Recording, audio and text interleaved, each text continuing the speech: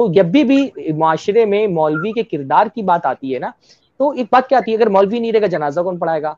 मौलवी नहीं रहेगा तो निकाह कौन पढ़ाएगा? मौलवी नहीं रहेगा तो जबा के वक्त दुआएँ कौन पढ़ेगा?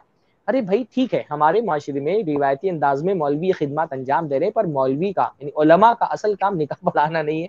मौलवी का असल काम जनाजा पढ़ाना नहीं, मौलवी का असल काम दीन की हिफाजत करना है, कुरान की हिफाजत करना है, सुन्नत की हिफाजत करना है।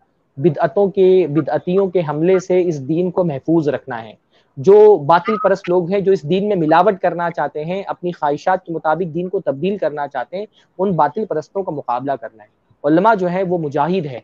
एक जिहाद वो होता है जो जंग के मैदान में होता है, तलवारों से होता है, तीर से होता है, और एक जिहाद वो इल्म के मैदान में होता है।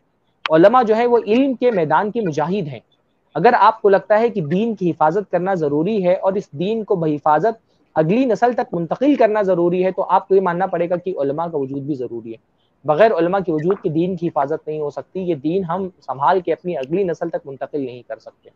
ऐसे ही और वीडियोस बनाने में हमारी मदद करें।